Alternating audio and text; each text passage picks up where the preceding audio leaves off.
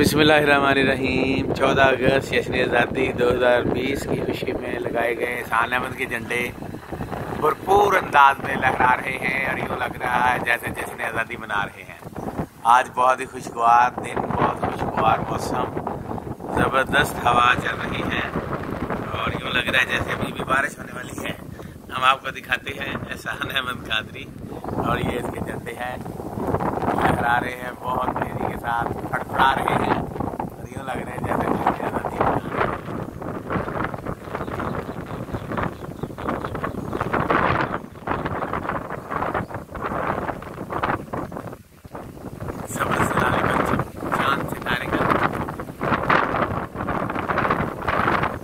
inside a bakery.